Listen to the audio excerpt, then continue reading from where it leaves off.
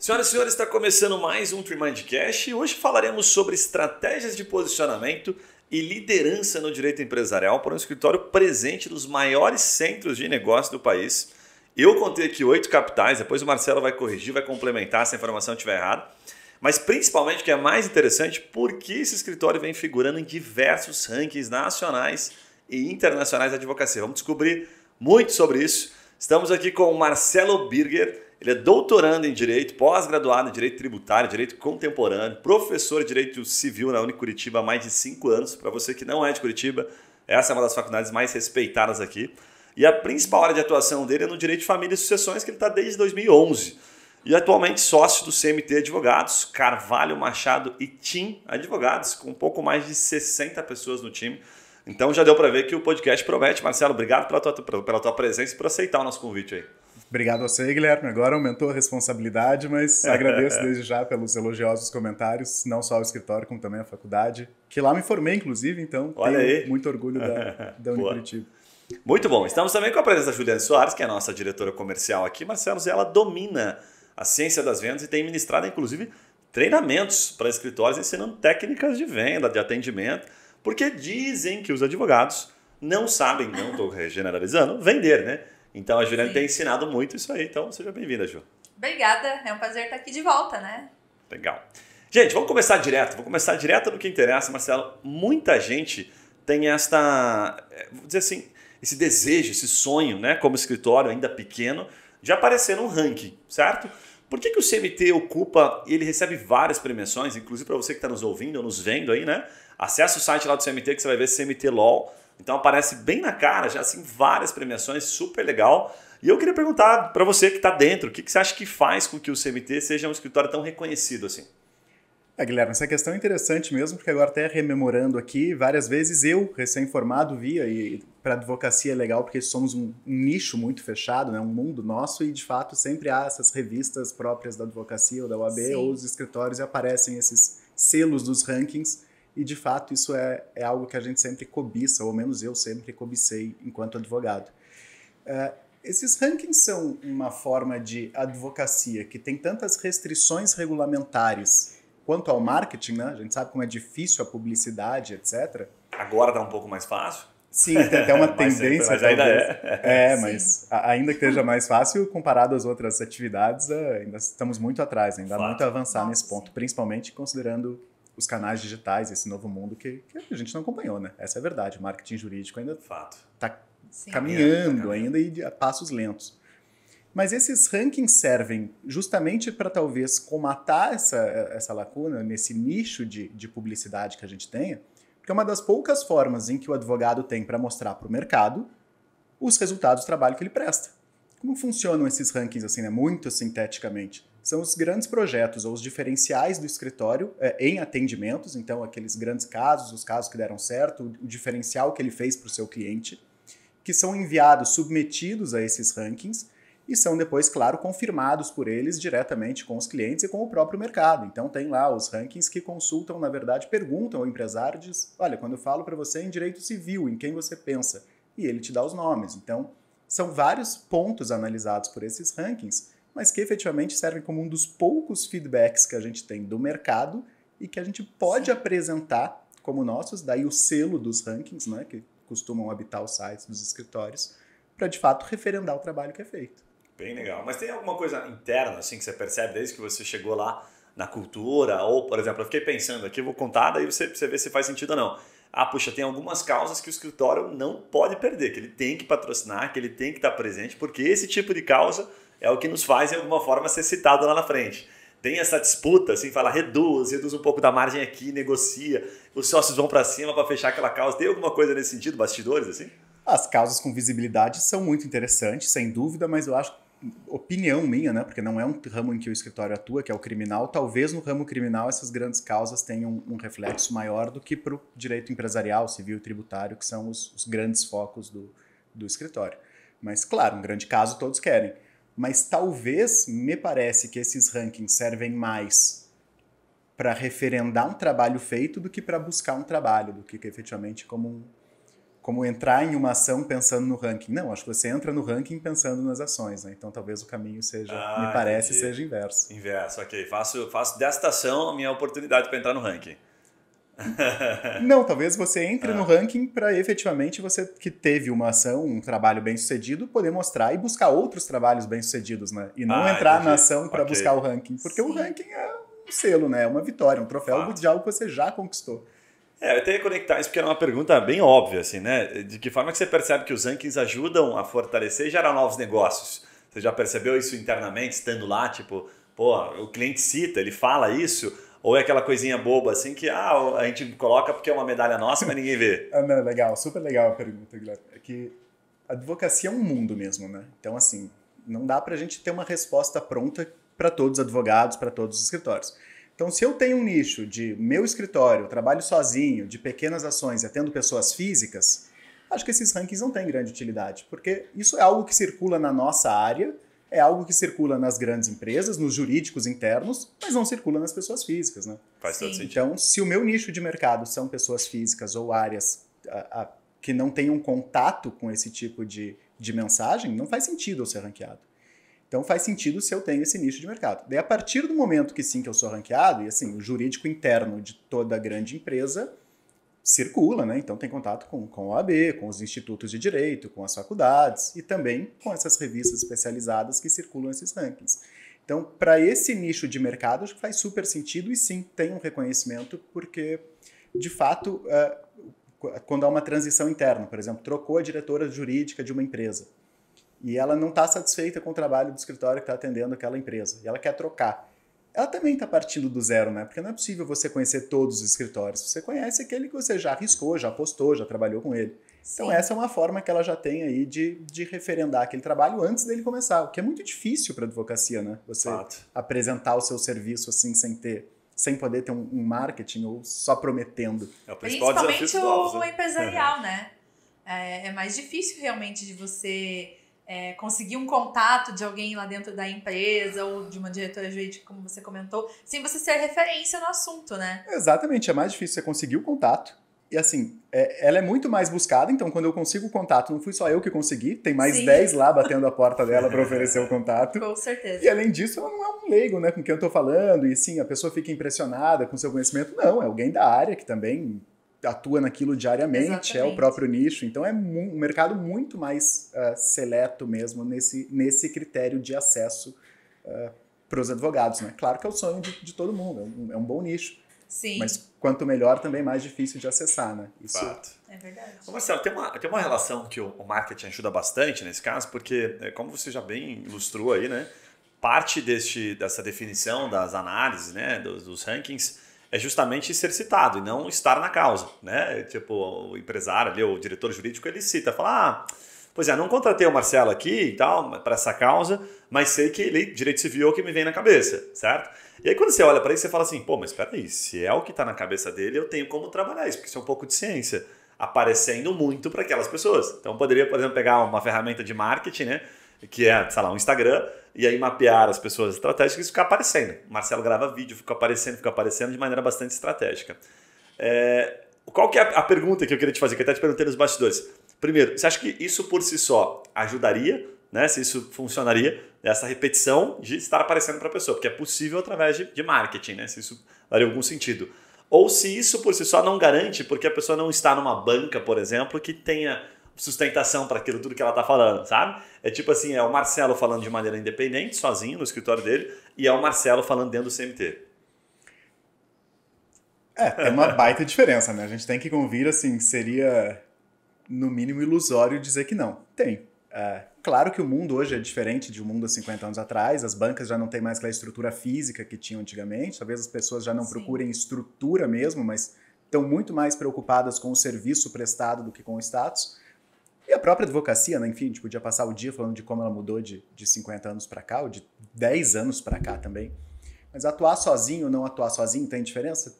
Ainda tem, né? Por mais que o serviço possa ser o mesmo, tal como quando buscamos um consultório médico, alguém está dentro de um grande centro médico, de um grande hospital, na advocacia acaba sendo a mesma coisa. Justamente pela Sim. dificuldade de marketing do escritório, a estrutura, de certo modo, reflete ou passa para o cliente a confiança de que aquele é um advogado bem sucedido. E se é bem sucedido, ele deve ser bom. Claro que isso é muito ilusório, né? Uma coisa não, não é repercussão necessária da outra. Mas Não é acontece. Mas é a Não impressão que passa, né? É. E aí, de fato, como que funciona? Como que se pode ter acesso a isso? Claro que as redes sociais, essa questão digital hoje é importantíssima, né? Um, um passo em que as pessoas efetivamente buscam no Google advogado, e buscam mesmo, Sim. sem, sem nenhum exagero. Mas, novamente, eu acho que a gente tem que voltar para mapear qual é o nicho em que eu quero atuar e saber qual é o, quais são os clientes que eu quero. Porque, novamente, a pessoa física ou o próprio pessoal do direito de família, e puxando para minha área, de fato vai buscar muito mais na internet, ou às vezes ver citações, ou lá as fotos do advogado sustentando no tribunal. Isso é importante. Para o empresariado, talvez eu acho menos provável. Eu não consigo cogitar assim de um, de um diretor jurídico ou de um, de um CFO buscando lá no Instagram dele o advogado que vai contratar para ação de piscofins. Uhum, Sim. Não Fato. faz sentido, né? Então, isso é muito difícil. E isso talvez seja um dos pontos até que talvez, atrelando as áreas, a docência facilite. Porque a docência, a vida acadêmica, dá uma- não só uma visibilidade, mas também um, não é um ranking, né? Mas te dá um selo de, de Com professor certeza. que passa para o público uma certa qualidade de conhecimento técnico assim que, que ajuda. E foi uma das até uma das questões que efetivamente me fez me dedicar mais à docência, embora, enfim, se fosse um, um desejo antigo. Legal. Sabe que você trocou em dois pontos ali que são interessantes. O primeiro é que, de fato, o público empresarial não procura assim desta forma direta. Advogado, empresarial, né? Não vai surgir esse contrato né, dos sonhos, assim, tipo, ah, oi, tudo bom? Eu vi que você é advogado tributário, eu queria falar sobre restituição de PIS e COFINS, aqui eu sou da indústria XYZ. Isso não existe.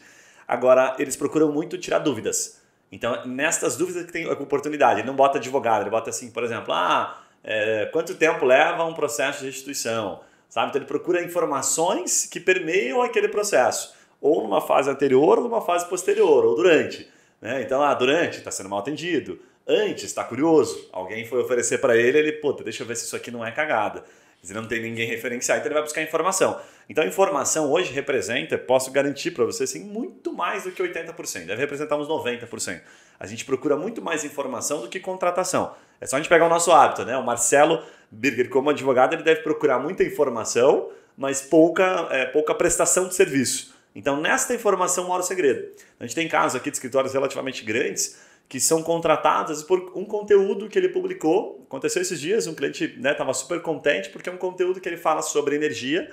Né? Ele é um especialista em contratos é, de grandes negócios relacionados a energias renováveis. Quatro clientes contrataram ele porque ele colocou aquele conteúdo. E como é que a gente sabe isso? Por que, que a gente acertou? Porque a gente falou sobre um assunto que estavam buscando. A gente não tem bola de cristal, a gente não faz milagre, a gente não entende todas as áreas do direito. Então a gente pergunta, Marcelo, qual que é a tua área? Aí você fala, pô, é energia, legal.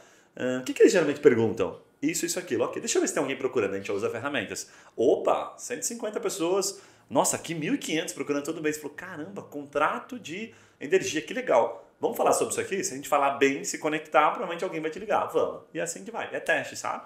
Esse é um ponto legal. E o segundo ponto que você falou que eu acho que vale a pena ressaltar, que é- faz muito sentido. Quanto maior o negócio, eu uso até analogia assim para ficar fácil. Quanto maior o negócio, maior o, o, o tamanho do negócio, maior é a necessidade de branding do escritório. Quanto menor o negócio, a gente fala pessoa física, menor a necessidade de branding do escritório.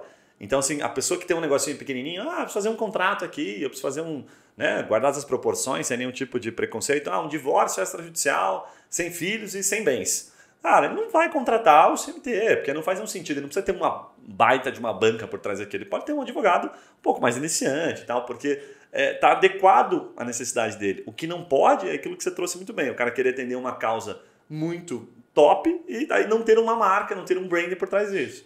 Então é melhor que você comece, sabe, num escritório grande, para você poder ter aquela sustentação que a gente fala, é eliminar as objeções de uma maneira quase que subjetiva. Assim. Ele não entende por que contratou o Marcelo, mas é porque o Marcelo ele vem dentro de um pacotinho, né, que vamos colocar dentro do CMT, que dá todas as outras garantias que o cara não precisa se preocupar. Quem que é esse cara? Mas não, quem que é esse escritório? A hora que ele entra no site, ele fala, acho que estou bem assistido. Né?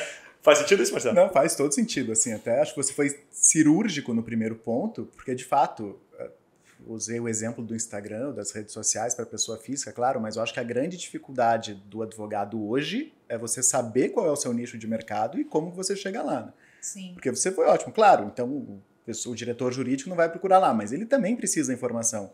E aí você saber que em vez de você se dedicar a um, um Instagram, talvez se você dedicar a criar um artigo e publicar um artigo na internet, aquele teu artigo vai ter uma Top. repercussão muito melhor. Exatamente. Perfeito. E essa que é a dificuldade, né? Mas, claro, hoje eu acho que não tem. É até difícil cogitar, de fato, a advocacia sem você estar inserido em meios digitais ou, ou se expor ao público, né? Por mais que tenha uma grande restrição à, à publicidade. Bem Sim. legal. E o segundo ponto, claro, de, de quem você contrata, eu acho que serve para tudo, né? Se eu quiser ir daqui para para Paranaguá, vai levar uma hora. Pode ser que se eu precisar só fazer uma audiência, eu alugue um carro 1.0, satisfaz o que eu preciso. Tá ótimo, não preciso mais que isso. Mas eu não vou até Foz do Iguaçu com um carro 1.0, né? Fato. Então talvez eu precise gastar um pouco mais. Você até vai, mas vai passar um esforço na, na, Não serra. vale, vai raiva. não vale, não vale. Pega um ônibus, pega um avião, vai ser É, barato. exatamente. Ô Marcelo, deixa eu te fazer uma pergunta antes da gente passar para o próximo bloco, pro próximo bloco, que é, assim, muito advogado que nos acompanha aqui. Tem um escritório de 5, 10 pessoas, enfim, né? E uma das coisas, estava até almoçando agora com um amigo que tem um escritório com um pouco mais de 100 pessoas, o pessoal da Melo, que está sempre aqui com a gente, e a gente falando sobre cultura dentro de um escritório, né? E ele está trabalhando muito OKR, está trabalhando muito indicadores, né? Como controlar, como organizar. Então eu queria te perguntar, você que está dentro do CMT, é, assim, eu vou fazer uma pergunta um pouco mais direta, e aí você responde aquilo, aquilo que acha que, que deve né, compartilhar.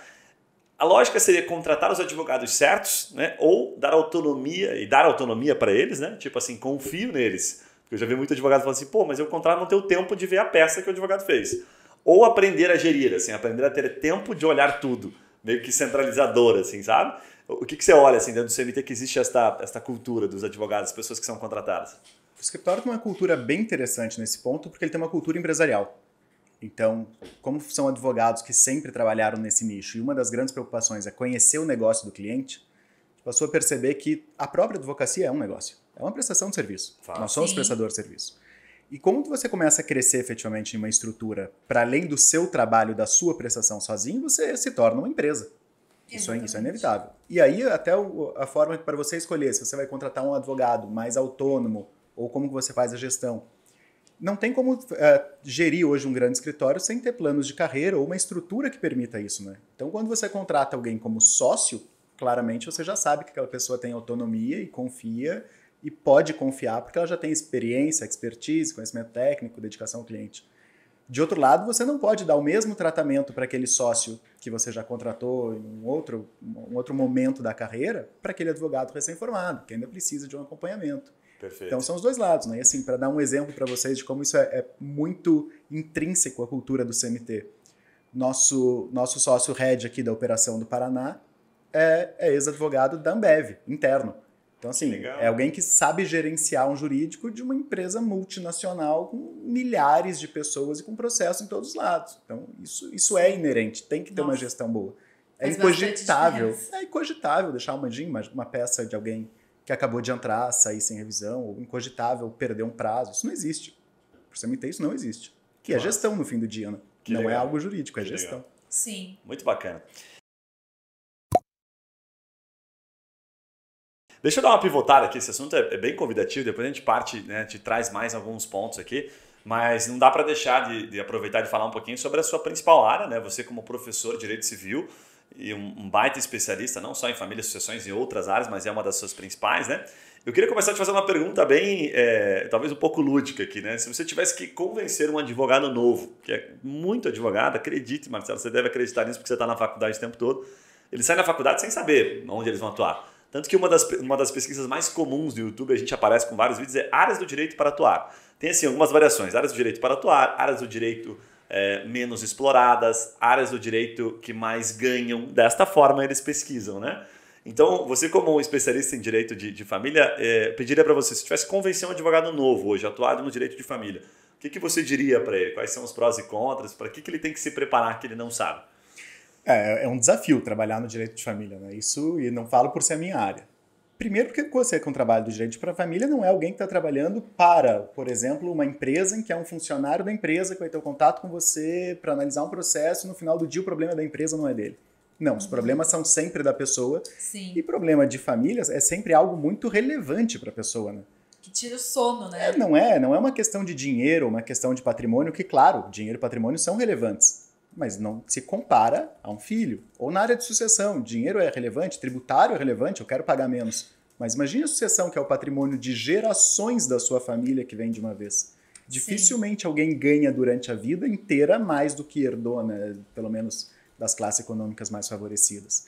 Então, de fato, esse é um primeiro ponto que tem que ter um diferencial, porque você tem que saber trabalhar com pessoas. E a maior dificuldade, sem sombra de dúvida. De outro lado, essa maior dificuldade também traz um ponto muito legal, né? Que talvez enquanto os outros advogados seja alguém que vai resolver o seu problema ou um prestador de serviço, o advogado de família e sucessão acaba se aproximando muito mais do cliente, né? O vínculo de confiança que se cria é muito maior. Por isso, Sim. não raro a gente começa entendendo uma demanda da família e se torna o jurídico interno ou em quem ele confia para perguntar questões da empresa e no final do dia você acaba sendo ali o, o, o não vou dizer o mentor, mas a pessoa efetivamente em quem aquela pessoa confia para todas as questões jurídicas. E aí não só suas pessoais, Sim. mas também da atividade negocial. Cara, eu já levei até puxão de orelha do advogado. É, eu já passei por uma causa né, de, de alimentos, assim, de pensão, quando eu tinha que regularizar, basicamente, não tinha nenhuma briga, mas tinha. Uh, todo fim de relacionamento já era um, um certo trauma, né? E aí, na época, eu era muito novo, tinha 22 anos, 23, não, um pouquinho mais, uns 25. E aí, o advogado, inclusive é o Felipe, da Voz Geral e Cunha, não sei se você conhece, mas muito bom, ele dava, ele falava assim, Guilherme, isso aqui eu não vou fazer. Mas ele já tinha criado uma intimidade a ponto de ele falar assim, não vou fazer por causa disso, isso aqui, porque não é certo, porque não é justo. Então, ele já não estava mais numa posição de advogado, numa posição de advogado, amigo, conselheiro. E aí ele me fazia refletir, assim, eu falava, é, é, faz sentido, me colocava numa saia justa. Ele falava, você pensou nisso, nisso, naquilo? Então é, é, muito legal isso que você falou, de fato, acho que é uma das áreas que mais se conecta emocionalmente, né? Faz muito sentido. Agora, o que, que você diria, assim, que são as desvantagens da área? Tipo assim, cara, isso aqui é comum, principalmente para quem está começando, assim, as desvantagens da área do direito de família. A grande desvantagem que eu vejo é que eu não consigo entender a razão, mas existe um preconceito social e mesmo jurídico muito grande com a área de direito de família. Né? Parece que é aquela que, assim, se você não sabe fazer nada, vai fazer direito de família ou qualquer um faz direito de família. Boa.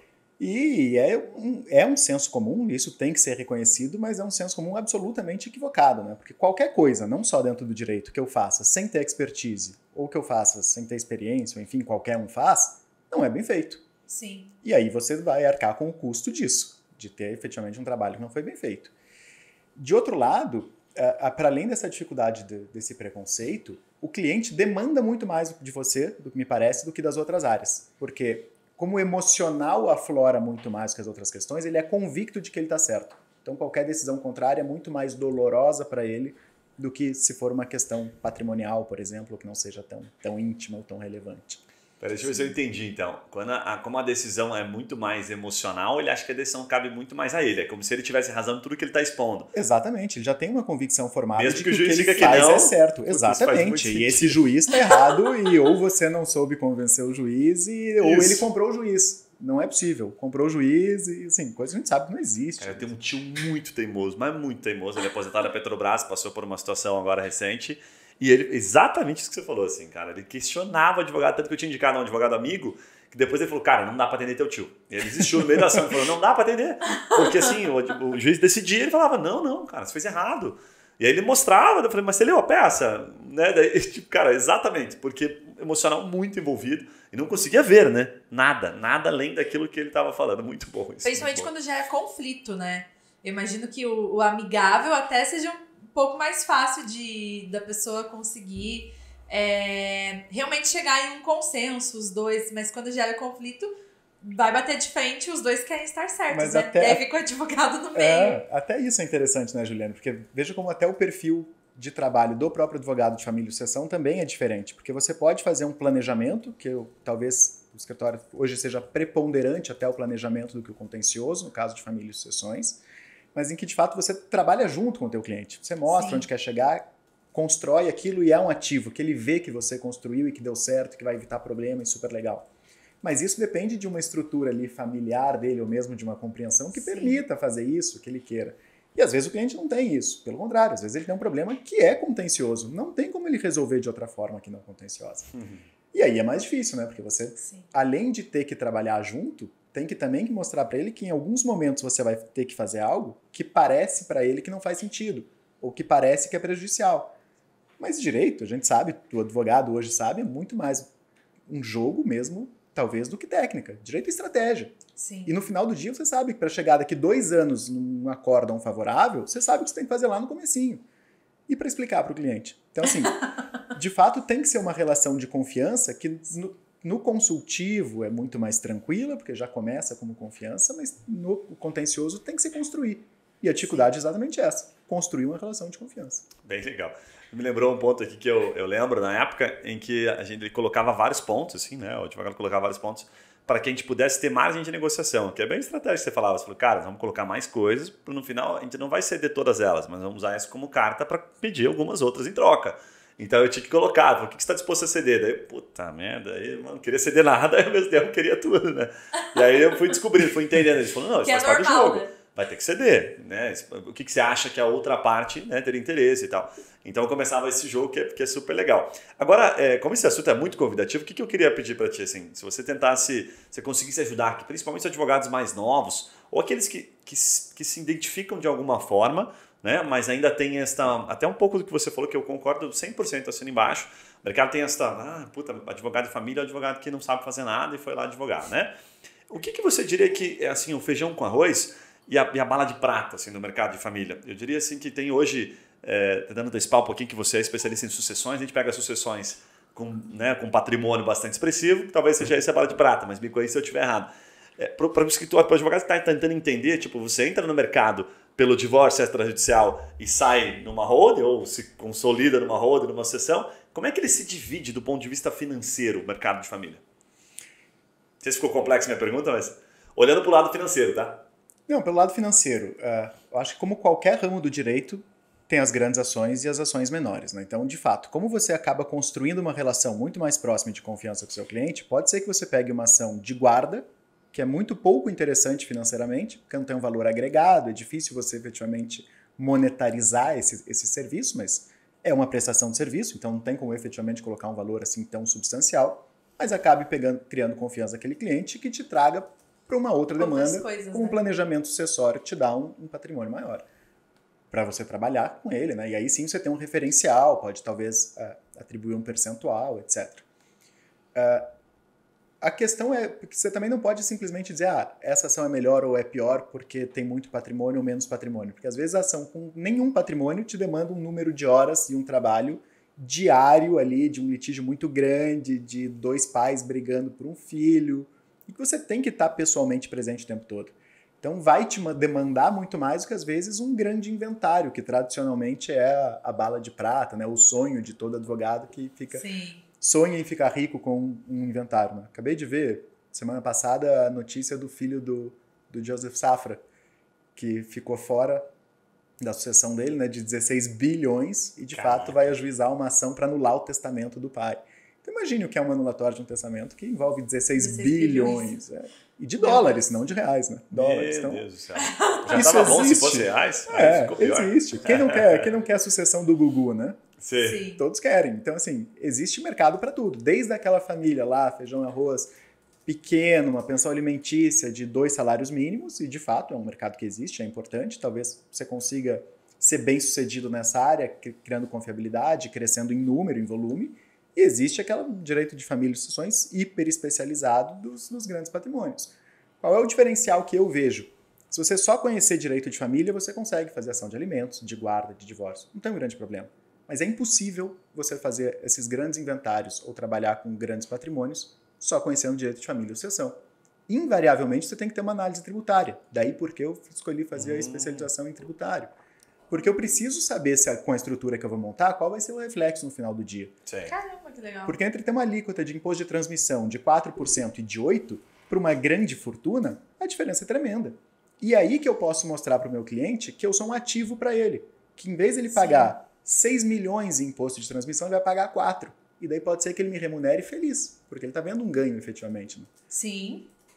Como eu também não preciso só do, do, do, tributário, mas do societário. Imagine uma grande. Quantas empresas familiares, e 90% das empresas brasileiras são familiares, não quebram na segunda ou terceira geração justamente por falta de uma organização interna societária, de estruturas que permitiam a atividade Nossa. continuar depois do inventário. 30% passam para a segunda geração, 5% chegam na terceira. Não é por problema econômico, né? É por problema familiar. Desde o Matarazzo isso é assim e a gente sabe que acontece. E aí a dificuldade, a necessidade de, desse advogado que quer trabalhar nesse campo mais especializado compreender que ele não pode ser só um advogado de família e sucessões, o que já é muita coisa, né? Sim. Mas sim entender que ele vai necessariamente ter também uma expertise em tributário e societário, pelo menos, depois em imobiliário, no civil em geral. É, e vai abrir uma brecha, daqui a pouco eu vou te fazer a pergunta, por causa da reforma tributária, né? Que já está gerando bastante discussão aí do que vai acontecer. Mas enquanto você falava, eu puxei uns números aqui, só para dar uma noção para quem está interessado na área. A gente tem números aproximados, tá? Porque esses números variam, depende da fonte, né? É, essa agência aqui é do BGE. Número de divórcios concedidos em primeira instância, 383 mil em 2019. Então dá para considerar aí que com, aumento, com a pandemia esse número deve ter aumentado um pouquinho, mas vai, 400 mil divórcios é divórcio para caramba. Tomara que esteja até menos, né? Enfim. E aí de inventário, só para você ter uma noção, 139 mil. Então 139 mil pedidos de inventário, né? É, contra divórcio, três vezes praticamente mais. Então já mostra um pouquinho do mercado, né? Eu vou começar, puxa, você está olhando para inventário, a necessidade de você se especializar, de você fazer, fazer um brand realmente forte para aquilo é muito maior. Já divórcio você tem com muito mais tranquilidade, né? Agora, deixa eu te fazer uma pergunta, Marcelo. É, como é que é atuar num, num, grande escritório? A pergunta seria assim, por exemplo, todo mundo sonha com inventário, né? Com inventário top, desse como você citou, de 16 bilhões. Nos grandes escritórios, e eu, eu já vi alguns escritórios que não atuam no família, ou talvez não deixem claro isso. Eles atuam se o cliente pedir, porque pô, não querem deixar o cliente né, não ser atendido. Mas a, a, política do CMT de trazer o Marcelo para atender família tem muito essa relação de, olha, nos, nas grandes empresas, os, os, os, bilionários também se separam e aí entra o Marcelo, é assim que funciona. Ou essas pessoas também tendem a contratar advogados menores, advogados menos informais. A relação de grandeza delas também condiciona um escritório grande? Isso é bem curioso. A ideia, de fato, do, do escritório até a minha ida ao CMT foi exatamente por isso. A constatação inevitável de que não é porque você é empresário que você não tem família, que você não sim. se divorcia e que as pessoas não falecem. Claro que sim. Só que a dificuldade é muito maior quando você é empresário. Porque se você é profissional liberal, se você é médico e se divorciou, tudo bem, você continua sendo médico, sua atividade é a mesma, não sofreu nenhum desgaste com isso. Sim. Se você é advogado, mesma coisa. Se você é empresário e a empresa é comum, como você liquida uma sociedade uh, no meio da atividade, tirando 50% do patrimônio dela? É impossível. Se você tirar 10%, você já deixa ela sem capital de giro e a atividade acaba. Sim. Então a perspectiva, efetivamente, é levar essa prestação de serviço para dentro dessas empresas, envolvendo família e sucessões, para preservar a atividade, que no final do dia é a galinha de ovos de ouro da família. Né? Prejudica todo mundo acabar com a atividade. É, e aí essa intersecção... Tem, tem, uma, tem uma história muito legal, desculpa te cortar, mas é, porque é bem interessante, porque você está falando de algo que é um problema que a maioria dos escritórios, dos, dos empreendedores que começam, devem negócios que ficam muito grandes, eles esquecem desse detalhe lá na frente. Exatamente. Então, muitos fundos hoje têm recusado investir em casais, né? Falar, ah, é casal, você, cada um tem 50, estamos fora. Não entramos no negócio, justamente por isso. Né? Então é muito aconselhável, né? Eu demorei muito para explicar para minha esposa hoje que eu tinha que casar com separação total de bens, que nós tínhamos que compor uma holding, porque ela não entendia isso. Eu falava, cara, a empresa não vai ter sustentação com você, sabe, sendo sócia ou vinculada, nem sendo sócia, sendo vinculada às minhas cotas, já vai me complicar bastante. E é um, é um tabu, né? É um tabu principalmente pela falta de conhecimento, né? É, e é difícil você explicar mesmo para as pessoas que não são que falta amor, né? Não é que... É, ou assim, por que você quer construir... É, exatamente. Quer construir uma vida a dois, mas sem ter o financeiro a dois, é, né? Só o lado que interessa. Ficar rico sozinho. É. Aí os meus pais eram assim, né? Poxa uh -huh. vida, é bem isso aí, Mas dá para fazer planejamento para isso também e resolver dá, os dois né? problemas. Dá. Não, foi, foi difícil. Mas, Marcelo, deixa eu te falar. O... Em comum, assim, eu vejo nos, nos grandes escritórios, inclusive nos grandes escritórios, terem esta essa, essa participação né, do, do direito de família ativo por uma questão óbvia de valores, certo? E aí a gente fica, puta, ah, não, mas não vale a pena porque as causas são muito pequenas. No CMT, vocês tratam isso apenas para negócios que já estão dentro ou para negócios externos também? Assim, o CMT chega a fazer, por exemplo, ah, políticas para trazer divórcios, inventários, vem como um, um, produto único, assim, um produto principal e aí também se distribui interno ou não? É só o que está interno? Não, a ideia do escritório como um todo é efetivamente ser um ativo para o cliente. Então, o que a gente puder levar para ele que contribua, a gente vai apresentar. Então, não é, por, não é que seja um pacote fechado ou algo assim, mas se a gente está fazendo um trabalho tributário e no meio de uma reunião a pessoa, uh, enfim, deixa escapar ou comenta que tem alguma dificuldade nessa área, ou tem a dúvida, ou surge uma brecha, talvez ele não esteja vendo um risco, a gente apresenta e aí sim é tanto interno quanto externo na, nessa ideia de mercado. E também a gente não tem, embora seja um escritório de direito principalmente comercial e tributário, e que tem um viés muito empresarial também não é restrito a isso. A área de família e sucessões também atende muitas pessoas físicas e, pessoas de outro mercado, o agronegócio principalmente, né, que é muito familiar e muito pessoa física, e mesmo as pessoas, as ações eh, menores em valor patrimonial, não tem qualquer restrição quanto a isso, pelo contrário, todo cliente é um cliente e, e sem distinções. A ideia realmente é ser abrangente nesse ponto e, e prestar esse serviço para todo mundo da melhor maneira. Bem legal. Você viu, Ju, que o resumo é o seguinte: mesmo você sendo, sendo rico, você também vai ter pepino no divórcio. Não é só o pobre que fica com pepino, não. o pobre divide o sofá, divide a geladeira. O rico tem mais problema do que o pobre. Você vê um negócio Sim. que o rico tem mais problema do que o pobre é no divórcio. Então, Exatamente. Entendeu a diferença?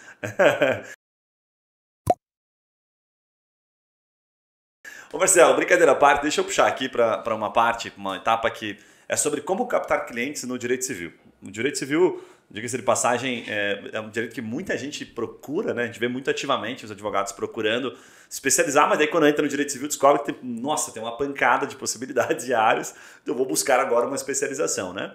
Então a principal, a, primeira pergunta que eu diria assim, antes até de você entrar no CMT, aquilo que você puder falar, né, que a gente sabe que tem algumas políticas de não divulgar escritórios, mas como é que você captava clientes, sabe? Ou se você em algum momento já trabalhou de maneira independente, se fosse para você começar hoje do zero, separado do CMT, para quem está nos acompanhando e está tentando entender como captar clientes, o que, que o Marcelo faria? O Marcelo admira muito quem teve a coragem de abrir o próprio escritório quando saiu da faculdade. Eu fiz justamente por isso, porque eu acho que de fato admiro, é super legal. Quem não sonha em ter o próprio escritório com o seu nome Sim. na parede, mas a, a, dificuldade é, primeiro, captação de cliente, é uma, sem dúvida uma grande dificuldade. E segundo, também você ter uma estrutura que te ajude com isso, né? Porque invariavelmente não tem como você conhecer bem para poder garantir o seu cliente em todas as áreas. Não Sim. tem como. E aí, como que eu vou prestar um serviço que eu dependo aí de, de uma expertise empresarial, de uma família que está fazendo um M&A? Isso não é a minha expertise. Como que eu faço? Eu saio? Não, o grande escritório te, te permite essas vantagens. Sim. Qual era o resto? A captação. A captação. captação. Para trazer, como que traz o cliente para dentro? Eu não, tenho, não sou de uma família de, de advogados, de juristas, então não, não tive uma carteira pronta nem nada disso. Trabalhei bastante tempo no Tribunal de Justiça também, fui assessor de magistrado e assessor de desembargador. Então também ficava um pouco fora do mercado e depois que eu, que eu vim para a advocacia.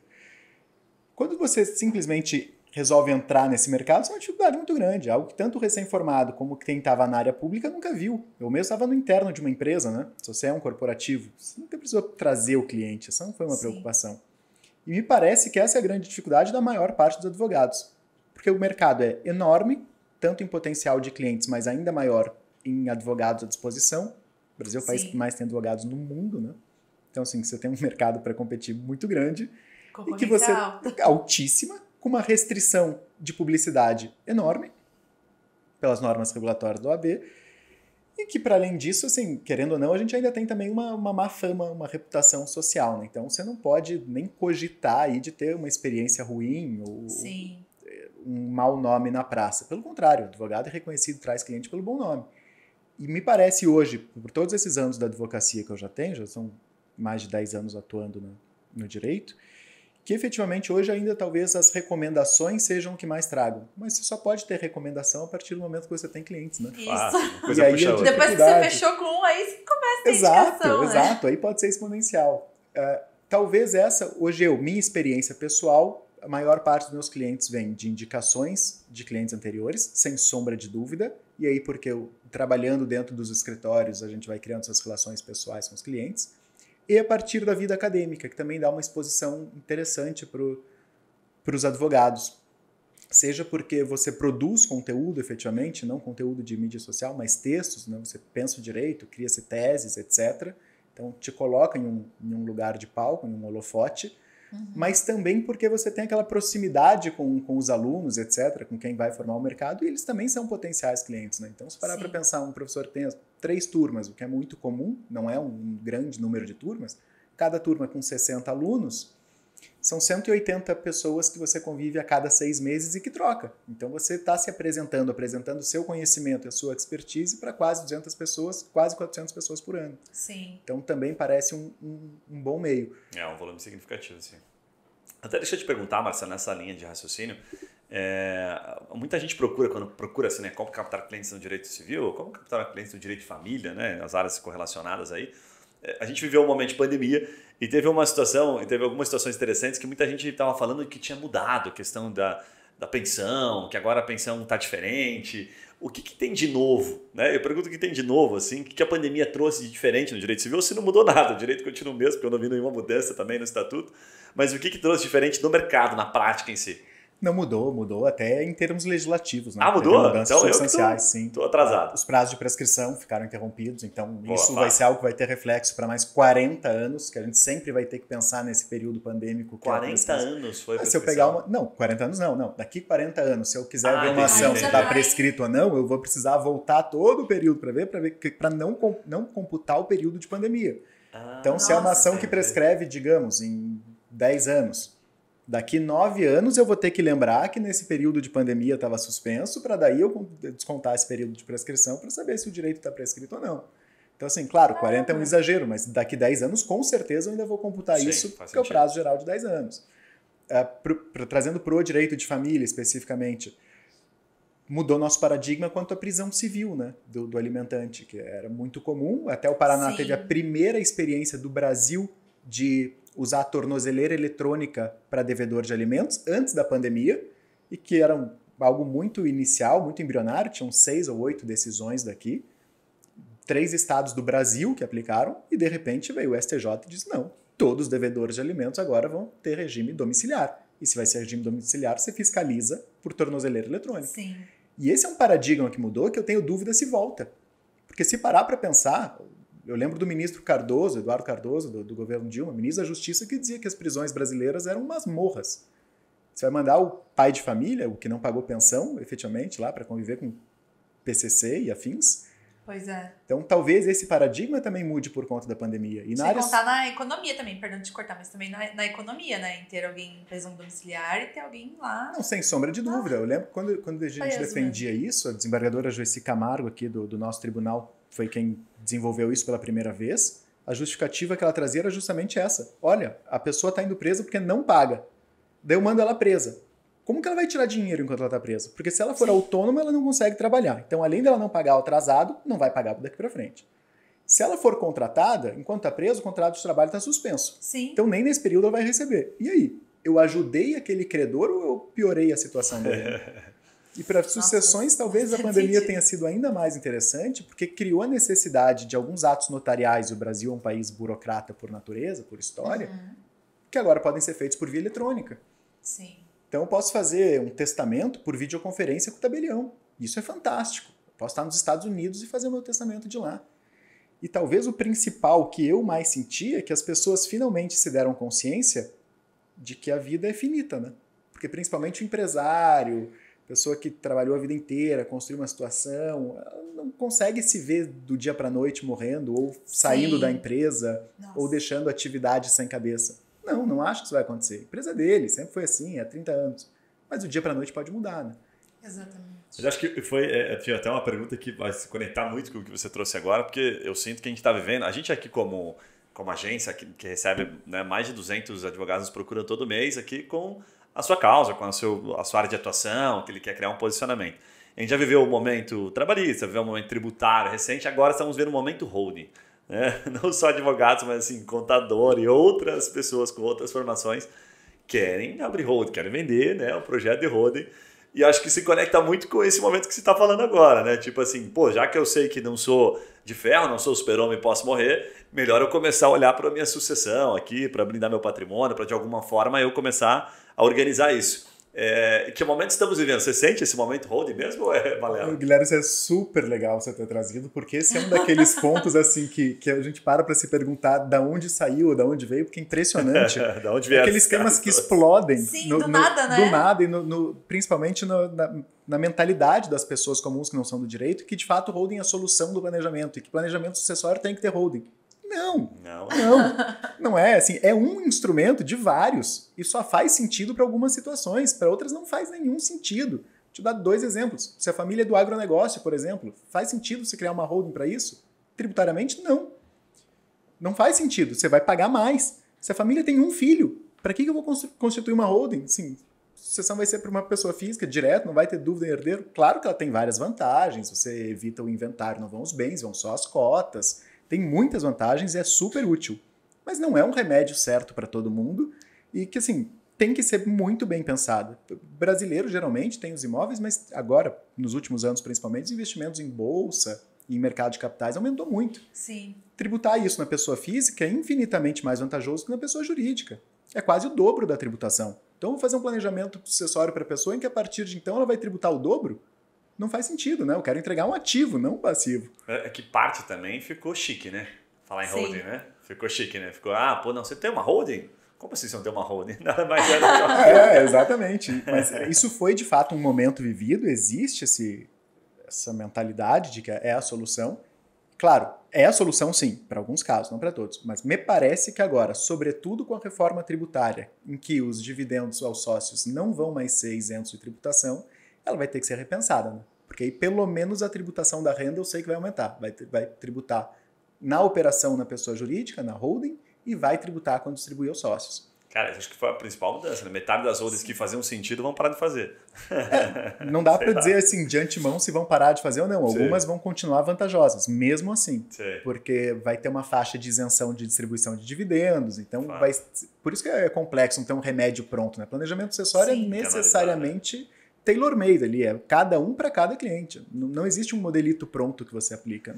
É, eu até, quando eu te perguntei sobre uh, diferentes, né, coisas, situações diferentes que a pandemia trouxe, justamente para provocar essa, essa percepção do advogado que procura isso, né, como captar clientes. Porque, na verdade, nada mais é do que ah, se a pessoa está procurando aquilo, né, o mercado ele gera demanda, ele gera necessidades. Né, a pessoa procura, então, opa, Marcelo já trouxe algumas situações aqui e essas situações é que geram negócios. Porque geram dúvidas, se geram dúvidas, geram consultas, se geram consultas, geram contratos, né?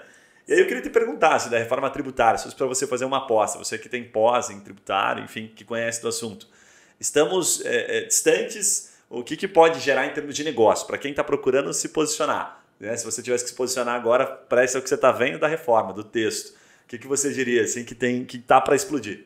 É, Guilherme isso é bom, não quero usar como um habeas corpus preventivo, mas serve para provar o que eu disse antes, né? Que o advogado que quer atuar de fato em determinado nicho, ele não pode conhecer só da sua área, tem que conhecer de todas, mas também tem que ter consciência de que ele entende do nicho dele, né? Sim. O advogado não pode sair dando pitaco igual rede social, que agora todo mundo virou expert cientista político. Virou influência. É, não dá. também tem uma responsabilidade com, com a nossa profissão que, que eu, eu levo muito a sério. Então, assim, minha área do escritório, família e sessões, a gente tem um time tributário especializado, livre docente em direito tributário, que é quem atua nisso. Então, esse time que está acompanhando a reforma. Minha área de atuação é sobretudo quanto aos impostos de transmissão, que por hora não seriam afetados pela, pela reforma tributária, e, claro, pela tributação da renda, que aí sim, por essas estruturas societárias construídas não para sociedades, mas para a sucessão, aí sim teriam, teriam uma, um reflexo muito grande. E o grande problema mesmo é, sem dúvida nenhuma, essa, essa tributação da divisão de lucros entre os sócios, da pessoa Perfeito. jurídica. Por que, que esse é o grande problema? Porque a reforma até se propõe a, de certo modo, auxiliar em, outras, em outros pontos. Reduz a alíquota da, da pessoa física, mas aí é algo que não prejudica, etc. O problema é que, assim, o Brasil há décadas se estriba em um sistema em que os lucros aos sócios não são tributados. Então as empresas se estruturaram dessa forma, elas foram pensadas dessa forma. E aí do dia para a noite deixa de ser. Esse que é o grande problema da reforma. Vai, vai ter solução para isso? Vai, mas você também vai demandar de todo o mercado uma reestruturação para se adequar ao novo regramento tributário. E isso não só pensando, claro, para a família e sucessão, mas isso traz um custo de transação para todas as empresas que não é nada desprezível. Né? Vai gerar uma demanda advocatícia ótima, os advogados agradecem. Mas o mercado não. Né? O mercado certamente vai sofrer com esse, com esse começo de reforma, que está sendo muito criticada pelos Sim. especialistas, principalmente. Né? O efeito planejado, ao que parece, uh, não vai ser atingido pelo que se espera, mas, pelo contrário, vai criar essas externalidades que talvez não, não sejam antevistas pelo, pelo Congresso e pelo governo. É, a distribuição de lucro sempre foi uma forma muito fácil, né? De, ah, pô, ah, como é que vai justificar essa grana aqui? Bota na distribuição de lucro. Se tiver caixa contábil, fica fácil resolver, né? Agora, é bem que você falou, concordo perfeitamente, vai ter que rever. Falou, cara, não vai mais dar para por esta via. Tem que pensar numa outra via para que você se justifique. É que, Guilherme, olha o problema. Eles só estão pensando, ah, tá, então de fato o empresário tira o lucro sem, sem pagar nada. Então o empresário que está é, tá enganando o fisco. Não. não. Primeiro que isso é uma ferramenta sempre foi lista, permitida lista e a empresa total, já sim. tributou. Então aquela verba já está tributada, que não vai fazer tributar duas vezes. Mas se ele não, se ele vai precisar tributar uma segunda vez para pôr o patrimônio na pessoa dele, invariavelmente, o que, que vai acontecer? Ele vai comprar o carro dele no nome da pessoa física ou no nome da pessoa jurídica? Da pessoa jurídica, porque ele não soube passar o dinheiro para o nome dele e não foi tributado. Perfeito, Economizou aí, sei lá, 15%. 15% a menos. E aí ele vai começar a comprar bens pessoais, o barco, a casa de praia, no nome da pessoa jurídica. Isso é bom ou é ruim? Isso é péssimo. Porque aí vai ter uma confusão patrimonial entre o empresário Sim. e a pessoa Nossa. jurídica. E confusão patrimonial é causa de desconsideração da pessoa jurídica. Aí a pessoa jurídica que serve para separar o patrimônio do sócio do patrimônio da atividade vai perder a principal utilidade. Sim. Como que eu não vou provar a confusão patrimonial quando o carro dele do dia a dia é uma casa de praia? Por que uma empresa tem uma casa de praia? Difícil de justificar, né? Os Exatamente. funcionários passarem férias. É, é, e lá nos finais de semana. É, claro. Eu até imagino que a casa de praia da, de vocês aqui nossa, seja muito nossa dividida. É enorme, né, Gui? É, é super comum, afinal, né? Cara, muito interessante. É, vão abrir. Assim, por um lado, ruim, né? E por outro lado, vão surgir outros problemas. O que. Acho que isso está meio intrínseco, né? Com o passar do tempo, a gente vai aprendendo a administrar. E alguns governos tendem a. Eu não vou, não sou nem pró-direita ou pró-esquerda, enfim, a gente tenta ter um posicionamento um pouquinho mais, mais centrão, assim, mas sem né, estar tá em cima do muro. Mas eu diria que são pontos positivos porque a gente vai tentando de alguma forma se reinventar e criar situações confortáveis. Só que esse confortável sempre vai deixar desconfortável alguém, né? O famoso cobre um santo e destampa outro. Então, se destampar outro, que aqui o nosso papel é olhar para oportunidades de negócio, eu falo assim, cara, olha para esse que vai ficar destampado, sabe? Olha para esse, por exemplo, você trouxe aqui o primeiro ponto, o TCM, né? O TCM é, um, é um cara, uma causa que alguns advogados já de São Paulo, a gente já, já trabalhou com eles, e que eles, nossa, conseguiam vários contratos de TCM porque lá a política é diferente. Então olha para a oportunidade. O TCM não vai mudar para o que você trouxe, né? Não vai mudar, mas vai ter muita gente consultando. Não vai mudar onde? Né? Em que estado? Será que vai mudar? Vai ser geral? Vai pacificar? Até uma pergunta, não sei. O TCM vai pacificar? Ah, não. Esse, esse foi importante você fazer esse adendo para deixar claro a resposta também. É, é que a reforma está tratando de impostos a níveis federais, né? E ah, o ITCMD são, de são de impostos estaduais. Estaduais, perfeito. Vai, vai mudar? Há anos que ele se anuncia que vai mudar. Em quase todas as assembleias legislativas, inclusive passa. a nossa, tem projeto de lei já em tramitação para aumentar a alíquota. O Rio de Janeiro Legal. aumentou a alíquota na, na, crise econômica deles, né? É a mais alta do país hoje. E por que, que é a mais alta do país? 8%. Porque tem resolução do Senado que limita a alíquota para mais ou menos uniformizar todos os estados. E isso também tem um tem projeto de resolução tramitando no próprio Senado para também aumentar essa alíquota máxima. Em paralelo à reforma tributária. Tudo em paralelo e antes da reforma tributária. E assim, e aí são, são questões regionais, cada estado legisla o seu, e mesmo para o limite máximo, existe em tramitação do Senado Federal também um projeto para aumentar essa alíquota máxima. Então é algo que assim, a gente já está antevendo há muito tempo e vai acontecer. Porque em crise econômica não adianta, eles vão querer criar fonte de rendimento. Sim. Fato, fato. É o famoso toma lá da cá, né? Exatamente. Eu vejo muito o Paulo Guedes falando isso em alguns podcasts. E ele fala muito, cara, a gente tira de algum lugar, mas assim, tem que colocar em outro. É milagre, cede, né? né? O tempo todo, até porque a nossa dívida ainda é bastante alta, né? E não tem nenhuma tendência de ela reduzir, né? Enfim, então o ITCM, mas o ITCM é bem legal, uma causa bacana, porque ele, é, ele é muito, quanto mais essas causas a gente fala que é o, é o marketing local, né? Como é, o Estado que, que regulamenta aquilo cria muita oportunidade para advogados daquele Estado fazerem negócios ali. Então, ah, eu sou um advogado especialista em TCM, nesse caso a gente vai falar em TCMD em São Paulo. Então, puxa, que legal, cara, você tem uma oportunidade enorme. Imagina o tamanho da população de São Paulo. E o cara, de fato, gerava várias, é, é, vários processos, várias causas de restituição do TCMD. Pessoas que não precisavam ter pago aquele, aquele imposto e ele conseguia trazer para dentro. Então, foi bem legal. Assim, teve uma época que ele teve alguns resultados legais. Depois eu não, não vi mais nenhum escritório focando nisso. Mas é justamente por esta visão, assim, né? Acho que vale a pena deixar esse tipo de situação que a gente está vivendo não enxerga como problema, enxerga como oportunidade. Aí tem um monte de gente tentando entender aquilo. E aí é oportunidade para o advogado se posicionar né? e aproximar causas. Né? Bem legal. Marcelo, o papo está muito bacana, dá para ficar umas duas horas aqui, mas eu vou entrar na última causa aqui contigo, que é sobre marketing jurídico, né, de um grande escritório. É, o que, que, eu queria começar te perguntando aqui, né? O CMT como um grande escritório, escritório super referenciado, a gente já falou de rankings né, da advocacia que ele aparece. O que, que o escritório incentiva? Como é que é? Como é que ele se posiciona? Tem assim reuniões que eles falam, pô, Marcelo, você tem que publicar no teu LinkedIn. É, o que tem de cultura sobre marketing dentro de um grande escritório? Tipo, faz o mínimo possível, não faz? Como é que é? É, claro que com uma estrutura grande você também precisa acompanhar isso na questão do marketing. Né? Então, assim, é até Sim. complexo para eu falar para você, ah, o CMT faz assim, porque os próprios advogados só acabam, não, efetivamente, a gente se dedica a uma área própria, a nossa atividade, e isso acaba sendo muito terceirizado. Né? Então, o escritório, por exemplo, tem empresas que, que acompanham e auxiliam nessa questão de marketing. Mas, claro, também tem reuniões internas, essa questão que você trouxe de achar o nicho de mercado, uma oportunidade de negócio tratada entre nós. Então, pô, eu estou na família de sessões, vejo que a lei do ITCD de São Paulo tem uma, uma inconstitucionalidade. Pô, o time tributário entra junto, começa a apresentar, troca muita ideia entre as outras áreas para criar produtos. Então, existe de fato uma visão interna para nesse ponto que fica muito clara para todo mundo que atua. Tudo que a gente puder levar, mesmo para outras áreas onde a gente não atua, que seja interessante, que seja um ativo para o nosso cliente, a gente desenvolve.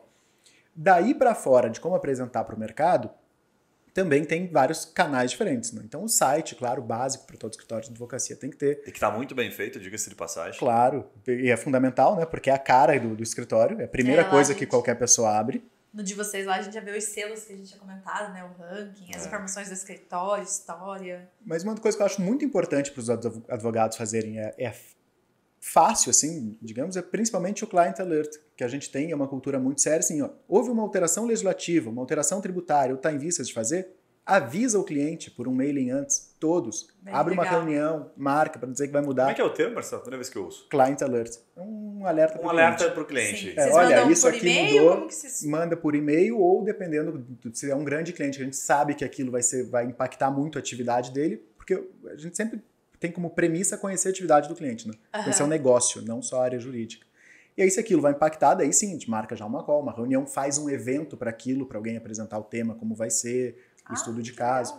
Isso pro cliente é super bom, né? Porque ele, já, ele sabe que ele pode confiar em você, não quando ele tiver um problema, mas ele sabe que o, o jurídico dele tá trabalhando por ele Sim. a todo momento. Vocês estão antecipando, né? Então... Exatamente. Cara, tem uma dica bem simples para fazer isso, porque quando a gente fala isso, puta, mas e aí, Marcelo, você vai ter que ficar antenado, né? Os principais portais e o tempo todo consumindo conteúdo, que, diga-se de passagem, parece meio bobo falar isso, mas é, é a tua obrigação, você tem que fazer isso, né? Você escolheu direito e tal. Mas tem uma forma que você pode fazer isso de maneira até um pouco mais eficiente, que é lá no Alerts Google, pouca gente sabe disso, né? Muitos Sim. advogados não sabem, não tem nenhum problema. Alerts Google. E aí o Google te alerta. Você coloca palavras-chave que remetem aos seus clientes. Você conhece essa ferramenta não? Não conheço. Olha aí que interessante. Alerts Google. Então ele mostra, você vai lá, o Google tem, ele pergunta assim, que palavras-chave? Fala uma palavra-chave que você tem que acompanhar de algum caso, Marcelo. Sei lá, inventário. Inventário. Aí ele vai colocar. Só que talvez essa inventário vai trazer muita coisa, muito lixo, assim, sabe? Muita informação que não é legal que, que o Google faz? O robô dele, ele faz a leitura dentro de qualquer site, assim, a gente gosta de explicar isso. Qualquer pequeno site, tipo o CMT é um, é um site filho do site mãe, que é o Google. O, site, o Google é o, é o mãe de todos. Então, sei lá, um tribunal publicou alguma coisa, alguma decisão nova sobre inventário, né, que tem algum número de processo, alguma coisa nesse sentido, você pode ir lá no Google Alerts e colocar aquele número. Então, você vai aprendendo a trabalhar com uma palavra-chave mais específica. E aí, quando sai alguma publicação, o que, que o robô faz? Ele está o tempo todo visitando todos os sites. Ele puxa opa, aqui neste site deste tribunal saiu uma informação, ó, oh, Marcelo, que coincidentemente tem essa palavra-chave que você citou. Dá uma olhada, ele te manda por e-mail. Então, quando ele te avisa, e aí você recebe aquela informação fala, pô, peraí, ah, isso aqui mesmo, que interessante, eu estava acompanhando essa matéria, Sim. agora eu pego aquilo ali e traduzo no e-mail para o meu cliente. Simples assim. Então, às vezes a gente, a gente acha que tudo isso tem muita. Dá muita desculpa, né? Essa é a verdade, para não fazer. Mas eu já vi casos assim de eu perguntar para o advogado, cara, quanto tempo você leva para fazer um e-mail para um cliente importante, para o seu escritório, uma informação que o Google te avisou, que ele te mandou. Ah, uns 10 minutos. Eu falo, isso é importante para você? Tipo assim, sabe? Então fazer a pessoa refletir. É, 10 minutos, cara. Porque você já domina a informação. Então não é tipo, olá, Rodrigo, estou passando aqui só para te avisar que não teve nenhuma movimentação esse mês, mas que eu estou acompanhando o teu caso, inclusive trago uma notícia sobre esta decisão recente, enfim, que nos favorece, que provavelmente no próximo mês a gente já tem alguma repercussão vou te mantendo informado, como é que tá a família, um abraço e tchau. Você leva cinco minutos para fazer isso aqui, né? Então, é, na época eu lembro que eu provoquei um advogado assim, ele falou, pô, faz todo sentido. Mas acho que ele acabou não fazendo. Enfim, mas é uma das ferramentas mesmo fazendo sentido, a gente sentido, não faz, mas né? Não fiz. E você foi preciso porque aí é um outro ativo que o advogado dá, né? De fazer a tradução para o cliente. Porque se Isso. você mandar notícia, Pelo mandar o amor de site Deus, ou não ele ler a decisão, não, mande, serve para pelo nada. Não, não, é- não é. Exatamente. Porque o negócio complicado de entender, né? Não é? Nossa, É, Se é para é nós, difícil. imagine para eles. sim. Ô Marcelo, ainda nessa linha de marketing jurídico dos grandes escritórios, é, deixa eu te perguntar sobre essa questão que a gente falou no primeiro bloco lá, né, dos, dos rankings de advocacia, que o CMT explora muito bem. Eu fiquei com uma curiosidade. Vocês exploram isso assim, eventualmente em uma negociação? É, como é que é a recomendação dos escritórios? Deixa lá e o cliente acaba vendo, a gente comunica o cliente por e-mail. como é que Divulgam vocês isso? usam isso né, a favor do escritório? Não, isso fica no, no site do escritório, no geral, então toda pessoa tem acesso, tá no nosso material de apresentação, então tem alguém novo, alguém, primeira reunião, a gente manda o material de apresentação, faz lá a primeira reunião com a empresa, apresenta antes, e aí sim tem todos, tem as sedes, os selos e alguns dos grandes clientes. Mas não é algo assim que a gente pontue, ah, viu, eu tenho o selo de tal ranking ou algo assim. Não, ele faz parte do material. Né? Ele é importante porque é um feedback que o mercado nos deu, né? então não é algo que Uma chancela. né? Exatamente, uma chancela. Não é É algo legal. criado, ou, enfim. Faz parte do marketing como um todo, mas não, não- A gente costuma dizer, sabe o que, Marcelo? Que esse tipo de situações, assim, é, muita gente tenta encontrar exatamente a receita. E está cada dia pior, mais difícil é ter uma receita única. Né? De falar assim, ah, o que, que faz o cliente tomar uma decisão? Eventualmente eu solto essa pergunta aqui, você vai falar, ah, é até difícil o cara responder. E eu concordo, porque não é uma, um elemento. Ah, é o selo? Não, o selo ele elimina algumas objeções. Será que esse escritório é bom? Ele olha o selo e fala, é, isso aqui eu não vou perguntar. Ok, vamos falar de valores, vamos falar de tempo, vamos falar de algumas outras coisas, sabe? Então a gente fala que não existe um- uma resposta. Então, ah, eu tenho uma. Será que ter rede social ajuda a fechar? Claro que ajuda, mas depende do, do tamanho do escritório, um percentual. Se você não tivesse uma rede social, ele se perguntar, mas será que o Marcelo realmente é, é- é- é- tem todo esse conhecimento que ele falou que tem? Porque eu não estou vendo nada aqui na rede social dele. Às vezes, estou provocando aqui algumas questões que podem ser. Então, como você bem citou no começo, depende do teu segmento, depende do teu nicho. Né? O Marcelo está dentro do CMT, um baita escritório, tem um baita conhecimento, dá aula, então talvez o Marcelo não precise se posicionar tanto. né? Ele já está muito bem posicionado. Há cinco anos ele dá aula né? no, no, na Unicuritiba. Não sei se isso faz sentido, Marcelo, gostaria até que você me corrigisse, tá? se eu estiver falando besteira. Mas eu acredito muito nisso. Assim, olha, procure elementos que sustentem aquilo que você fala para o cliente, fala muito para o advogado empresarial, quando você sai da mesa dele. Porque você deixa um cartão, você conseguiu uma reunião, ele fala assim, tá, quem que é esse cara? Deixa eu ver quem que é esse cara. Ele vai lá, como você bem colocou, primeiro lugar, no site. Aí chega no teu site, teu site tá uma merda. Não carrega, teu site tá feio, tem nada atualizado. Você fala, cara, o teu discurso já caiu por terra. Ele vai procurar elementos que comprovem o teu discurso. E aí se ele não acha aqueles elementos, ele fala, pô, cara, sabe? Tipo assim, não tá batendo é, o teu discurso. Faz sentido isso ou não? faz todo sentido. Você tem de fato que corroborar o teu discurso, né? Porque senão você se torna só um vendedor sem, sem nenhum respaldo. E aí talvez de fato esses selos de ranking ajudam isso, mas você tem toda razão, não são só eles. E a dificuldade do marketing está nisso, e cada dia mais eu vejo. Da onde vem o cliente? Ou da onde eu sei que vem o cliente? Não sei, sinceramente, até hoje. É. Se alguém souber e tiver a receita pronta, me diz. Porque às vezes vem assim dos lugares mais inesperados de onde você não Fato. imaginava. Tá. Às vezes você fez, sei lá, um comentário em algum lugar, alguém ouviu e comentou com um amigo e o amigo veio te procurar. Ou às vezes você, sei lá, na sua atuação mesmo, é muito bom e a promotora daquele caso viu, poxa, de fato aqui foi diferencial. E quando você vê a promotora tá te indicando, você nunca imaginou. Porque ela era parte adversa ali, contra você, se fosse o caso, sei lá. Eu já vi essa Mas tá te indicando. E já teve efetivamente parte adversa que depois se tornou cliente. Bem legal, bem legal. Então é, é difícil dizer, né, da, da onde que vem. A dificuldade é essa. Então vai ser do site? Não sei, mas você tem que efetivamente ter respaldo do seu discurso. E aí é o discurso que vai alinhar com a- qual é o nicho, qual é o cliente que você quer atingir. É, a sensação é que esses dias me perguntaram isso. Ah, pô, o que você recomendaria? Eu falei, olha, tem algum- algumas coisas que são meio padrões, assim, né? Desde comportamento, fala, né? É um bom site, enfim, isso aqui são elementos básicos. Se você não tiver, você não fez feijão com arroz. Aí tem o plus. Ah, o plus seria ah, um canal no YouTube, ser um influencer, né? Nas redes sociais falando sobre determinado assunto. Isso tudo é plus. Mas o feijão com arroz bem feito, ele enche barriga, né? Ele já te dá a capacidade de fechar negócio. O que você não pode é tentar fazer o plus antes de fazer o feijão com arroz. Sim. Assim, pô, faça uma coisa, pelo menos um básico bem feito, para você poder depois pensar numa uma coisa mais complexa, né? Deixa eu conectar isso com uma pergunta que eu queria te fazer, curiosidade, para a gente entrar na etapa final aqui, Marcelo. Você que está lá lecionando para várias turmas, lá em Curitiba, há mais de cinco anos, mudou alguma coisa nessa percepção dos alunos, assim, aqueles que estão prestes a se formar e tal, na questão do marketing? Você já vê os caras começando a se posicionar, eles estão se mexendo mais, porque muita gente senta aqui e fala assim, cara, a faculdade não ensina. Né? De fato, a gente, não sei, até corrige a gente aqui se o Curitiba corrige ensina alguma coisa, mas a gente não vê nenhum incentivo. Você vê os alunos já se posicionando, fazendo alguma, alguma mudança nessa geração nova de advogados? Não vejo e não vejo pela nova geração. Não vejo porque, de fato, tem uma dificuldade maior que eu acho do direito, é que ele é tão amplo, das pessoas primeiro não saberem efetivamente, como você disse no começo, resgatando, para onde elas vão. Sim. E a gente vê muito isso em orientação de trabalho, de conclusão de curso. É a última coisa que a pessoa está fazendo na faculdade. Então já tem uma experiência de estágio, já viu as disciplinas, mas e aí, escolhe o tema? Não escolhe o tema, não consegue, não sabe em que área que quer atuar. Sim. E essa é a regra, a maior parte deles. Então, assim, hoje a pessoa sai da faculdade muito jovem ainda, né? Então teve alguma experiência, mas não para decidir qual vai ser a área que vai seguir a vida inteira. Então, se já tem até uma dificuldade de selecionar a área, imagine para se posicionar nessa área, né? Sim. Então, eu acredito, sinceramente, isso não é, não é nenhum demérito, mas que na, na área do direito, principalmente, regra geral, a vida profissional acaba te encaminhando para alguma área e aí você passa a se posicionar a partir das suas experiências que tem nela. Então, de fato, você vai começar e tem que saber que vai começar por baixo, todo mundo começa por baixo, que as coisas são devagar e as coisas vão acontecendo.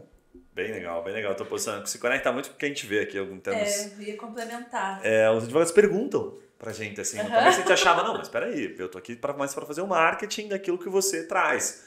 Mas eles não, eles perguntam, o que que, tipo assim, o que que tá em alta? Mais ou menos assim, sabe? O que que estão comprando, assim, sabe? Tipo Quando Mercado Livre, começo? assim, O né? que estão procurando mais? É, Sabe? Isso é engraçado, que né? Áreas tem mais gente buscando Quando hoje? já tem uma área, um produto que está sendo muito buscado por todos, acabou o mercado. Todo mundo já sabe daquilo, então todos os advogados já estão oferecendo, né? A dificuldade está em você criar o produto, ou ver lá antes de, de se popularizar e acontecer. E aí esse advogado sim que desponta e que, que consegue galgar um, um número maior de clientes, etc. Exatamente. Uma coisa que acontece aqui, que é bem comum também, que guarda muita relação com isso que você comentou, é a pessoa vir e não vir com uma especialidade. Tipo, ah, eu sou iniciante, a gente pergunta que área que você pretende atuar? Não, não sei, não, não, não nichei ainda. Então eu vou atuar como previdenciário, vou atuar como trabalhista e vou atuar com família, por exemplo. E aí começa atendendo naquelas áreas e aos poucos vai identificando o seu nicho, mas na maioria das vezes os iniciantes não chegam com a, tipo, sou especialista nisso aqui. Não chega com uma resposta, sabe? Chega tentando buscar, ainda buscar um nicho ali, mas atender vários, né? Dois, três, às vezes até mais, para não perder a oportunidade, sabe? Ter, ter esse negócio assim, não posso perder. Se, se vir um previdenciário me procurar, eu quero atender. Se vir um família me procurar, quero atender também. Um trabalhista também atendo, porque não tô no momento de, de É. poder escolher. É um generalista, né? E no interior isso acontece muito também, né? Que não tem uma, uma oferta tão grande de, de, de escritórios especializados. Muito comum. E depois acaba contratando, às vezes, Sim. algum escritório da capital quando está no tribunal, algo assim, para daí sim com alguém, alguém especialista. Isso é super comum. É. Mas faz bastante sentido também, né? Cobrar de uma pessoa muito jovem, assim, a gente fala assim, mas esquece, né? A gente tivesse naquela posição, sair já bem decidido. Aqueles que Ah, é saem bem difícil, decididos, né? eu acho que eles já têm aquela vocação, assim, né? O cara já. Esse aqui vai se dar bem, né? Porque ele sabe o que quer, já estava muito bem. Ou trabalhou muito A no estágio. Já vi também. muito advogado falando aqui sobre a importância do estágio. Comece o quanto antes. Né? Cinco Sem anos dúvida, ali. Bom, sem pô, você dúvida. ficar uns quatro anos fazendo estágio, você vai descobrir já no meio do estágio. Chega no final, você já sabe qual o trabalho né, de conclusão de curso que você vai fazer. Inclusive, você citou um ponto que eu achei interessante no YouTube, quando a gente está fazendo a pauta aqui, a gente procura sempre. né? Então eu boto assim, direito e família e vou procurando, a gente vai caçando pautas. E tinha lá, direito e família para TCC. Então são pessoas procurando. Aí eu, eu coloquei, pesquisei, né? Tinha um cara lá que fez um vídeo e botou assim: 10 temas para o seu trabalho de conclusão de curso. Eu falei, caraca, realmente faz todo sentido o que você falou. Os alunos não sabem o que eles vão falar, o que eles vão abordar. Deve vir uns TCC maravilhosos daí, né? Cara, mas vem muita coisa boa Coisa também. boa. É, às vezes na- é um tiro no escuro, mas que dá certo no final, né? É. Sim. Então é difícil escolher. E é natural, né? Até Top. seguindo o que a Juliana disse, dá para cobrar que alguém se forme especialista, né? É. Se existe uma especialização que é a pós-graduação, quem se graduou tem que Sim. não ser especialista ainda, né? É o natural. Faz então sentido. tem que ter paciência mesmo, né? Ninguém vai ficar É especialista no, no primeiro ano de formado. E Mas- também é uma decisão que vai acarretar para a vida toda da pessoa. É. né? Sem Então, dúvida. Putz, já vou começar, não, sair, já quero ser criminal. Vai saber se você vai gostar da área, se vai dar certo e tal. Eu- Então, já vai se posicionar desse jeito? Eu né? digo por, por experiência minha como estágio é importante, né? É- é- é- chega a ser anedota contar isso, mas eu caí porque eu fui levado à área de família e sucessões, porque eu fazia graduação na, na Universidade de Lisboa, fiz um período lá, descendo a escada tinha um cartaz, me lembro claramente. O melhor do mundo são mesmo as crianças? E uma interrogação. Eu falei, cara, esses portugueses têm que ser muito loucos, né? Como assim? Eles vão falar que as crianças não são o futuro? Ou que tem que ser algo negativo, né? Isso está muito complicado. Vou nesse evento. Fui nesse evento, tinham seis pessoas, era do Instituto Brasileiro de Direito de Família. Conheci o pessoal, achei assim, os temas fantásticos e a partir daquilo comecei a crescer na área Que e tô legal. lá até hoje, por um cartaz na escada. Então, assim, Nossa. claro que um estágio vai fazer toda a diferença. Se você faz o estágio naquela área e escolheu, ela vai te encaminhar para aquilo. Uhum. Fato, faz bastante sentido. É, você teve a curiosidade ali também, né? De falar, opa, peraí, o que, que é isso aqui, né? Que A que tá chamada rolando, deles né? fez bastante legal. É um diferença né? Foi um bom copo que te pegou ali, Foi. Marcelo. Bem legal, bem legal. Boa estratégia. Marcelo, é, daria para ficar bastante tempo aqui a gente conversando, o papo tá super legal. Mais uma vez agradeço a tua visita aí, a tua disponibilidade de vir até aqui gravar com a gente, né? Porque a gente sabe que, enfim, várias demandas e a agenda sempre cheia. Vou pedir para você deixar uma mensagem final e dizer como é que as pessoas encontram você, por onde que elas, você prefere que elas te encontrem, se é pelo Instagram, pelo LinkedIn. Enfim, deixa sua mensagem final pra gente, por gentileza. Obrigado, Guilherme. Antes da mensagem, queria agradecer vocês também aqui no feriado, gravando isso para poder facilitar Verdade. as agendas, né? Então, algo absolutamente incomum. Feriado em Curitiba, mas é feriado, deixa de ser É feriado. feriado, é feriado. Então, obrigado pelo convite mais uma vez. Super legal também conhecer mais de perto agora o trabalho de vocês. É, vocês podem me encontrar pelo site do CMT, né? cmtlaw.com.br. Lá tem meu e-mail e, e todos os nossos contatos. E também por, por redes sociais, é do Instagram. E por- como mensagem men- final, deixaria duas, assim, né? Uma para quem está começando, que eu acho que é um pouco o objetivo daqui, até por experiência acadêmica, assim, estudem. Direito depende de estudo, e é isso que você também puxou no meio. É uma notícia nova a cada dia. Então, assim, esqueça que você se formou e acabou. Não, você vai estudar a vida inteira. Estude que quanto mais você estudar, melhor você vai ser e as coisas acontecem naturalmente. Basta ter uma qualidade no seu trabalho que você apresenta ao cliente. E se tiverem também, não sei quem ouve o podcast, certamente não são só advogados também, mas clientes, etc., confiem nos seus advogados, né? Porque no final do dia, como médico, às vezes uma quimioterapia que te parece péssima, você vai passar mal, vai te levar a um resultado melhor. Então, de fato, por outro lado, acho que a advocacia hoje precisa desse, desse tipo de recado e precisa mudar essa imagem eh, de, de que advogado, enfim, só procura processos interessantes, se preocupa consigo e não com o cliente. E não é isso, né? Faz todo sentido. Principalmente no advogado de família. Confiem, porque pô, sou prova viva, funciona. no final, ele sempre te ajuda, tá? Pode parecer naquele momento que ele está negociando para o outro lado, né? Mas não é, ele está negociando para você, porque você não está conseguindo enxergar. Exato. A pessoa está tão tampada ali, né? O emocional, ele cria uma, uma barreira é, que é impressionante, assim. Eu já vi casos aqui, para finalizar, até o- situações em que o, o- o advogado comentou, falou, nossa, tem um advogado muito próximo aqui, o Felipe Otto, que ele fala, quanto ah, maior o pepino, assim, quanto mais perto do pepino, mais eu gosto. Ele falava, era advogado de família, porque ele falava que, a, principalmente assim, vezes quando o divórcio está tá muito estressante, a esposa, sei lá, o marido saiu de casa, coisas desse sentido, assim, né? Ou teve traição, por exemplo, ele fala que é o cliente mais fácil de fechar, né? Porque é o cliente que está com uma carga emocional mais alta. Então ele gostava muito. Mas é porque é um, é um típico advogado, e ele é meu amigo, posso falar isso, que gosta de uma briga. Na característica dele, assim, sabe? Daí eu falava, cara, mas não é melhor a pessoa se acalmar para tomar uma decisão? Ele fala, não, mas a decisão ele toma depois. Mas o momento da contratação é naquele momento, na hora que ela tá super tá válido. eu deixo ali, tipo, eu falo pra ele, não, pensa um pouquinho se você quer se separar mesmo. Não, vamos se separar desse cachorro mesmo. Venha pra cá que nós vamos fazer esse negócio aqui. Ele fecha negócio, aí depois fala, agora vamos se acalmar ir tomar a decisão mais apropriada. É uma estratégia de negócio, né? Já interessante. Muito bom. Ju, e aí, curtiu? Adorei! Bom? Nossa, deu pra aprender Legal. bastante coisa. E dá pra ver a sua paixão também pelo, É, pelo direito, por ensinar. É, uma das coisas que mais me chamaram a atenção foi a parte de você falar do relacionamento, porque é algo que é bem importante. Eu, como vendedora, né, sempre bato na questão de que para você conseguir vender bem, você precisa construir um bom relacionamento com o teu cliente, né? E isso em direito de família é fundamental, porque para a pessoa chegar a ponto dela confiar em você para contar o problema dela, a história do que levou ela a tomar aquela decisão, fazer aquele divórcio, pedir a guarda do filho e tal, ela realmente precisa confiar, né? Então, realmente, o relacionamento, construir isso, buscar construir isso com o teu público é fundamental. Eu acho que é o que mais é, ficou na minha mente, assim, de tudo que a gente conversou hoje. Foi muito bom, bem, bem legal. Top. Para você que está nos ouvindo ou nos vendo aí pelo YouTube, já sabe esse é aquele momento que a gente pede para você. Inclusive, olha na descrição, aqui a gente vai deixar a rede social do Marcelo, o site do escritório que está super legal. Segue o site lá do escritório, segue o- as redes sociais do escritório, melhor colocando, porque de fato eles estão um passo à frente. Principalmente o site está muito bem feito. A gente que trabalha com isso sabe reconhecer quando o trabalho tá legal, tá moderno, tá bacana, mostra a credibilidade. A gente vai deixar aqui na descrição do episódio para você acompanhar. Obviamente, se você gostou né, do conteúdo, clica em seguir, acompanha a gente, compartilha com algum amigo que está pensando ainda né, em atuar no direito de família ou que já atua e quer captar um pouco dos insights aqui, porque o Marcelo de fato abriu o coração, abriu a caixa preta aqui, contou muita coisa relevante. Então, um abraço, obrigado pela sua paciência, pela sua audiência, até o próximo podcast. Valeu!